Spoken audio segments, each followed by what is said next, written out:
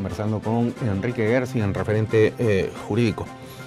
Eh, a ver, para tratar de un poquito insertar ideas que, permitan el desarrollo del, pensamiento liberal suyo, porque usted se declara liberalista. Sí, sí, totalmente, lo soy. He sido vicepresidente de Montpellier Society, que es la organización que reúne a los liberales del mundo. La más excelsa. Bueno, no sé si excelsa, pero por lo menos la, más grande. Sí. Bueno, entonces, eh, a ver, vamos a, proponer una, un postulado contrario al liberalismo, marxista eh, específicamente. Si aceptamos que las condiciones materiales de existencia determinan en última instancia la conciencia social de los hombres, en alguna medida, eh, lo cierto es que la, base económica de la sociedad funciona por una dialéctica en este pensamiento que opera en eh, la relación de oposición entre las fuerzas productivas de la sociedad y las relaciones sociales eh, de producción. Y los eh, académicos marxistas llegaron a desarrollar el pensamiento según el cual existe o existiría una ley de relación entre las fuerzas productivas de la sociedad y las relaciones sociales de la producción. En la medida en la que se aceleran las fuerzas productivas, hay un incremento y un gran crecimiento de la producción económica eh, en un país determinado, pero sin embargo las relaciones sociales de producción no se benefician de ese crecimiento económico y se van quedando cada vez más estancadas, estancadas, hasta que en un momento determinado surge una relación de tensión entre, entre, ambas situaciones y se genera una explosión social que abre camino precisamente a los cambios eh, económicos sociales de los países. Yo me imagino a ver gráficamente que es más o menos algo así como eh, cuando uno maneja una bicicleta tiene un piñón y una catalina. La que más gira, la que gira más rápidamente siempre, o el que gira más rápidamente siempre es el piñón, por ser pequeñito pero la Catalina gira más, más lentamente. Entonces digamos que el piñón son las fuerzas productivas y la Catalina las relaciones sociales. Entonces, supongamos que se atraca ese piñón, entonces la cadena se tensa y hay un momento en el que la, eh, la, Catalina jala más y estalla la, cadena y entonces se genera todo un, problemón ahí este, con, esta unidad de transporte. Así explicaban entonces los marxistas el inicio de los procesos revolucionarios, o por lo menos de los cambios sociales. Ahora, ¿cuán cierto puede llegar a ser eh, este concepto eh, teórico en el plano de la realidad? Todavía es algo que podríamos seguir analizando. Pero lo cierto es que en 1929, en Estados Unidos, efectivamente, las fuerzas productivas norteamericanas habían avanzado de tal manera que Estados Unidos ya le había ganado la carrera a Inglaterra por el apoderamiento de, por lo menos este lado del hemisferio del planeta, y entonces produjo que Estados Unidos se convierta en, la, eh, en lo que ya venía a ser el anuncio de la gran potencia mundial. Pero generó un estancamiento enorme a nivel de las relaciones sociales de producción de su país. Y entonces surge el, Viernes Negro de Wall Street, y, entonces se da la primera crisis del sistema capitalista de tipo liberal. ¿Fue por esto? No. ¿O hay otra explicación? Hay varias. Eh, eh, la profecía de Marx es sencillamente un error. Y es sencillamente un error por el hecho de que en ninguno de los países desarrollados se ha producido la tensión que Marx dice que se iba a producir necesariamente. Se ha producido todo lo contrario. Ahí donde ha habido desarrollo económico, ha habido progreso social, progreso moral y las sociedades en su conjunto todas han progresado. Estamos hablando de y se han vuelto más igualitarias, no, estamos hablando de Europa, estamos hablando de Estados Unidos, estamos hablando inclusive hoy día lo que hemos visto en China, el desarrollo de una clase media china gigantesca, mm. ¿no es cierto? Hay 320 millones de millonarios en China, claro, en China hay 2 mil millones de personas, pero 320 millones son todos los habitantes de Europa. Entonces resulta que hay 320 eh, eh, millones de millonarios en China que equivalen a todos los habitantes de Europa. Entonces, claro, ese desarrollo es consecuencia, evidentemente, de lo que los marxistas dirían, ¿no es cierto?, el desarrollo de las fuerzas de producción. Mm. No te lleva a la no te lleva a la pobreza, no te lleva al enfrentamiento, al contrario, te lleva al progreso, mm. te lleva al desarrollo, te lleva a la mejora de la civilización. Mm. ¿Cuál fue el problema con la profecía de Marx? Luego hablamos de, lo del 29. El problema con la profecía de Marx fue el problema de la teoría del valor, que es un problema de fondo Marx, tributario en esto, de la economía, eh, clásica inglesa, la economía clásica inglesa, creía en el valor objetivo. curiosamente, Smith nunca tuvo claro el tema del valor. Hay páginas de Smith a favor del valor objetivo y páginas a favor del valor subjetivo. Ahí era más ricardiano más. David Ricardo, eh, discípulo de Smith, se fue por el lado del valor objetivo. Y evidentemente hay una relación del socialismo científico tributario de las ideas de Ricardo, sobre todo el valor trabajo. ¿Cuál es el problema con la, con la teoría del valor objetivo, teoría del valor trabajo? Que quienes creen en la teoría del valor trabajo piensan que el mercado es un juego de suma cero, mm, ¿no? que la riqueza de unos es la pobreza de otros, que el resultado del proceso de mercado debe ser como resultado del balance, cero, que las cuentas tienen que ser equivalentes. En realidad no es así. Si consideramos que el valor es subjetivo, ¿qué ocurre en un proceso de mercado? Que todos ganan, si consideramos que el valor es objetivo y el juego es de suma cero en el mercado, el que gana es a costa de robarle al otro. El problema de la teoría de la explotación, mm. la apropiación indebida de la plusvalía del trabajo. Entonces, claro, eso te lleva al deadlock en el que estaba Marx, que Marx predice que las economías que van a tener un desarrollo capitalista son las economías que por una agudización de contradicciones van a terminar explotando por sus propias contradicciones, mm. que no es lo que sucede, porque el proceso de mercado no supone que la riqueza de unos empobrezca a los otros. El proceso de mercado supone que cuando uno gana, ganan todos. ¿Por qué? Es muy sencillo. Si el valor es subjetivo, la gente solamente intercambia algo cuando los dos ganan. ¿No? Si somos, creemos en la teoría del valor trabajo, una teoría objetiva, el intercambio no tiene explicación. ¿no? Es decir, si yo voy a hacer un negocio y voy a intercambiar el contrato más elemental que podamos hacer, una permuta de un gato por un perro, mm. el objetivista cree que el gato y el perro son equivalentes, mm. ¿no es cierto? Y que por eso yo intercambio un gato por un perro. ¿Qué dice la teoría subjetiva del valor, el liberalismo? El liberalismo dice, no, el gato y el perro no son equivalentes, porque yo no intercambio cosas equivalentes. Mm. Si el valor del gato, el valor que yo le atribuyo al gato, es igual al valor que tú le atribuyes al perro, yo me quedo con mi gato y tú te quedas con mi perro. ¿Cuándo se produce el comercio? ¿Cuándo se produce el intercambio? Cuando yo valoro más tu perro y tú valoras más mi gato. Lo que significa que los dos ganamos. Porque tú estás mejor porque te llevas un gato que valoras más que tu perro. Y yo estoy mejor porque me quedo con tu perro que valoro más que mi gato. El resultado es que el mercado es un juego de suma positiva. Entonces Marx se equivocó. Digamos, el desarrollo de las fuerzas productivas, el desarrollo de los mercados, no lleva a un empobrecimiento ni una agudización de las contradicciones, sino hace que la sociedad progrese en su conjunto. El 29. El 29, digamos, Anna Schwartz y Milton Friedman publicaron hace años un estudio sobre la crisis del 29. Anna Schwartz acaba de morir de casi 100 años y Milton Friedman murió hace poco, prácticamente 100 años también. Eh, eh, ¿Qué pasó el 29? El 29 fue un error del Banco Central.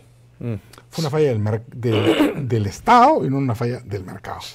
Es decir, en un contexto en el cual había una situación deflacionista en Estados Unidos, el Banco Central americano, la Reserva Federal, se asustó. Y cuando debió haber soltado la maquinita, emitir más, porque estaba haciendo deflación, mm. estaba emitiendo menos que el ritmo de la producción, emitieron menos, se pusieron en una política contractiva. ¿Qué provocaron? La quiebra generalizada. Por eso es que a Roosevelt le resulta tan fácil salir de la crisis. Cuando llega Roosevelt a la calle de Hoover, ¿qué hace Roosevelt? Suelta la maquinita, porque es lo que tenía que hacer. El Banco Central se había equivocado. Bueno, pero detrás de, Roosevelt estaba uh, Maynard Keynes. Sí, pero digamos, en ese momento la receta, la receta era la receta correcta. ¿Por qué? Porque el Banco Central había tenido en un contexto deflacionista una política contractiva. Que es un error. Había que abrir el caño. Había que abrir el caño, porque naturalmente, digamos, lo lógico, dentro de un esquema de bancos centrales, ¿no? Porque también hay otras maneras de organizar la emisión monetaria, pero dentro de un esquema de bancos centrales, que era lo que estaba de moda en los años 30, ¿no es cierto?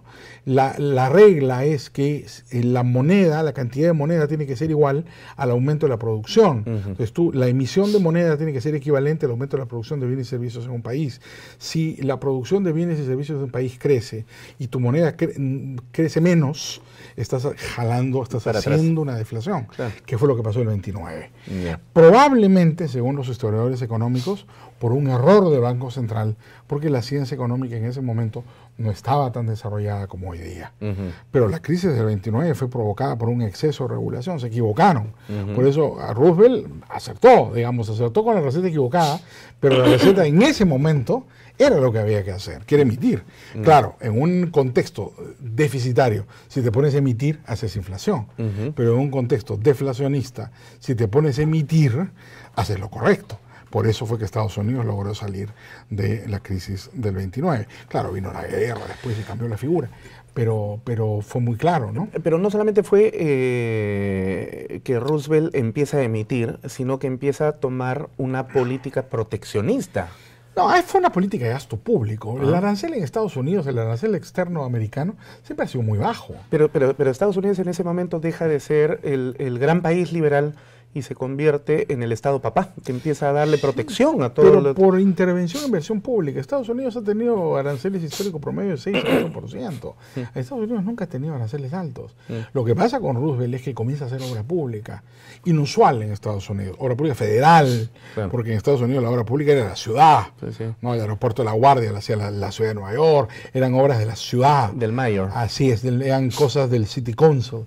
Es la primera vez que el Estado federal, famosa autoridad del Valle del Tennessee, se ponen a hacer proyectos gigantescos, que es equivalente, pues hablando mutatis mutandis, como decimos los abogados, como Chavi ¿no? Esas obras enormes de infraestructura no eran usuales en Estados Unidos, ¿no? Es un, es un tipo de paternalismo diferente. Ahora, ese no fue el éxito de Roosevelt. El gran éxito de Roosevelt fue que entendió que salía de la crisis monetaria del 29 emitiendo, porque era lo que tenía que hacer, era lo correcto. ¿no? Claro, eso no es siempre lo correcto, pero en ese contexto, sin duda, estaba en un esquema deflacionista y tenía que emitir.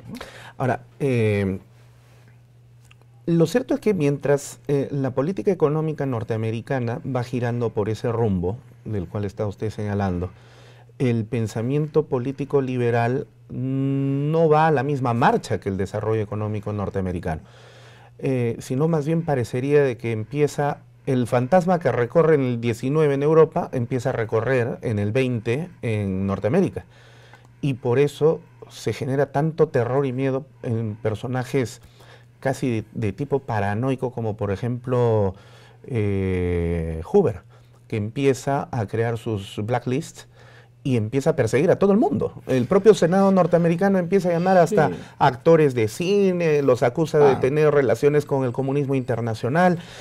Es decir, hay un terror donde hay que imponer a la fuerza el pensamiento liberal porque parece que, no, no, está dando. Estados Unidos, yo no me atrevería a decir que Estados Unidos es una sociedad muy liberal. Lo que Estados Unidos ha sido siempre una sociedad muy conservadora. Puede haber algunos puntos en los cuales los conservadores y los liberales estamos de acuerdo, que es en la disciplina fiscal, en un Estado pequeño, eficiente, con impuestos moderados y generales. Pero después en materia social y en materia de organización de la vida cotidiana, liberales y conservadores, tenemos puntos de vista bastante lejanos. Mm. Estados Unidos es fundamentalmente una sociedad muy conservadora. ¿Cuál es un país liberal cristiano. Bueno, depende pues en qué y en qué momento y mm. cuándo, mm. ¿no? Porque ha habido momentos, por ejemplo, que Francia, Francia es un país muy liberal. Inglaterra, no obstante ser una monarquía, es, un, país, muy liberal, la gente es muy libre en Inglaterra, y en el sentido más amplio, no me refiero solo a lo económico. Inglaterra es una sociedad tremendamente libre, la gente hace lo que le da la gana, y en Francia también. Ahora, curiosamente, por ejemplo, en materia religiosa, el tratamiento frente al mundo musulmán En Inglaterra es completamente distinto en Francia. Mm. En Francia se reprime, por ejemplo, las manifestaciones religiosas de las mujeres que no pueden usar velo. En Inglaterra es multicultural y las dejan perfectamente usar el velo que quieran. A nadie le importa, no se meten con la vida privada. Entonces hay unos matices importantes.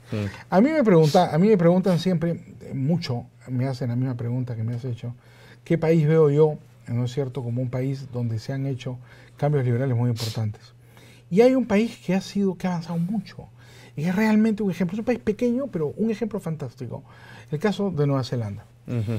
Nueva Zelanda en los 90, más o menos la misma época que nosotros, hasta ahora, curiosamente bajo el gobierno de la izquierda neozelandesa, el Partido Laborista, no la derecha, el Partido Nacional, que son más bien prosindicales, el Partido Laborista, con Roger Douglas primero y con Ruth Richardson después, que fueron primeros ministros, ministros de Economía, llevaron a cabo un proceso de reformas institucionales sumamente impresionante.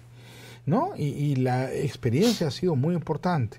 Luego un primer ministro en Estonia, Matt Lars. Estonia es un país muy Estonia, el país báltico. Sí, el país báltico. Excomunista. Excomunista. Un país muy chiquito, 5.000 habitantes o 6, pero con una gran desarrollo tecnológico. Mm. Lars, por ejemplo, prácticamente ha reemplazado, ha creado un sistema de gobierno electrónico que es una cosa absolutamente espectacular. Mm. Cada ciudadano tiene su página web y a tu página web te llevan las notificaciones del Estado. Ha desmaterializado los trámites. Si hay una notificación de, por ejemplo, el equivalente a la SUNAT, te llega a tu página web, que puedes ver un app en tu teléfono. Si tú tienes una queja, que dirigir a un juez o a un ministerio, hacer una solicitud, llenas el app en tu teléfono y lo mandas directamente. La multa de tránsito, porque te pasaste la luz, te llega a tu teléfono. Pagas tus impuestos de tu teléfono. Es una cosa absolutamente espectacular ¿eh? y, muy barata de hacer. Con el desarrollo tecnológico contemporáneo es casi ridículo. Entonces, Lars ha tenido experiencias muy interesantes. Y finalmente, la República Checa acaba de terminar su periodo el presidente Václav Klaus, que ha sido presidente por 10 años y primer ministro por 10 años antes, la República Checa ha hecho unas reformas fiscales sin entrar en el euro, porque Klaus no era un, él es miembro de la Unión Europea, de la República Checa, pero no fueron parte del euro precisamente por desconfianza del euro. La corona checa no ha tenido devaluación y la República Checa es una potencia industrial en el centro de Europa. Me parece que los países comunistas aprendieron más bien bien de, la otra parte del, muro. Nueva Zelanda nunca fue comunista. No, claro, pero, la, República Checa, han aprendido bastante. Estonia, con Letonia, eh, Lituania. Estonia es muy distinto de Lituania. Lituania no ha funcionado nunca, pero Estonia es un espectáculo. Sí, ya lo vemos. Vamos a hacer el último corte. Gracias, muy amable. No se vayan, ya regresamos con Enrique García en referente jurídico.